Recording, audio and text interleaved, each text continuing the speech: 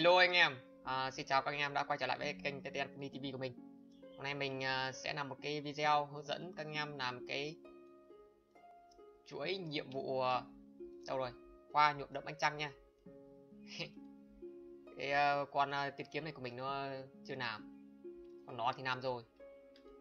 Và cái nhiệm vụ này thì nó không có cái chế độ auto tự uh, tìm cái vật phẩm.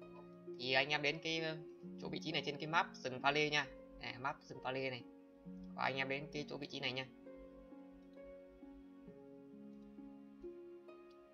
Hiện tại thì mình đang làm nhiệm vụ để mở khóa cho cái cuốn bí ẩn thứ sáu của cái chuỗi nhiệm vụ uh, bí ẩn ờ, uh, Kimiziat Kimiziat cuốn thứ sáu thì uh, bắt buộc là phải làm cái đống nhiệm vụ yêu cầu uh, rừng pha lê này để nó mở khóa và tất nhiên là cũng không, không phải làm hết.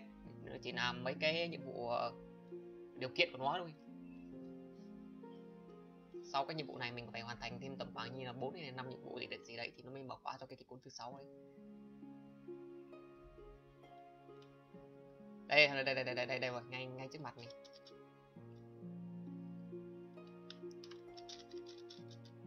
Cái nhiệm vụ này thì nó khá là đơn giản chả có cái gì cả cái là, là cái chế độ auto nó không hoạt động. Thì mình lại phải làm một cách uh, mò thôi. Ok vậy là xong rồi. Cụ này rất là ngắn.